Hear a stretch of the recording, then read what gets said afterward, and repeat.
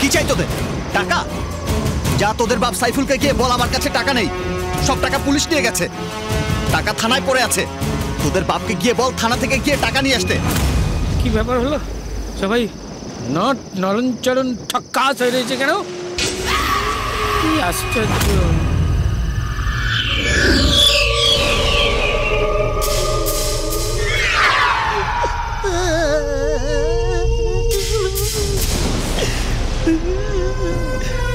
আমার পুত পেটিয়ে বাচ্চি আল্লাহ আমার সঙ্গে আছে, হবে আমার কি?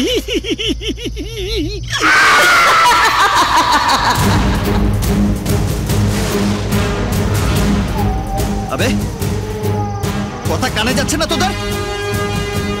দেখ আরেক পা এগুলে নাম্বার ধরে ধরে কেলাবো, একটাও বাদ যাবি না।